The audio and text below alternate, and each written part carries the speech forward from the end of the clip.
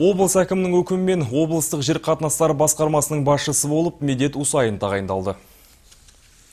Медет Усайын 1987 жылы туған Қаныш Сәтпаев атындағы Қазақ ұлттық техникалық университетін көлік, көлік техникасы және технологиясы, Қорқыт атындағы Қызылорда мемлекеттік университетін қаржы мамандықтары бойынша бітірген.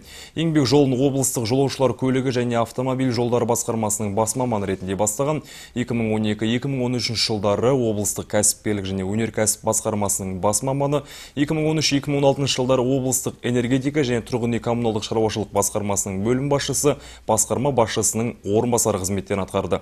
2016-2020 жылдары облыстық энергетика және тұрғын үй коммуналдық шаруашылық басқармасының басшысы лауазымында болған.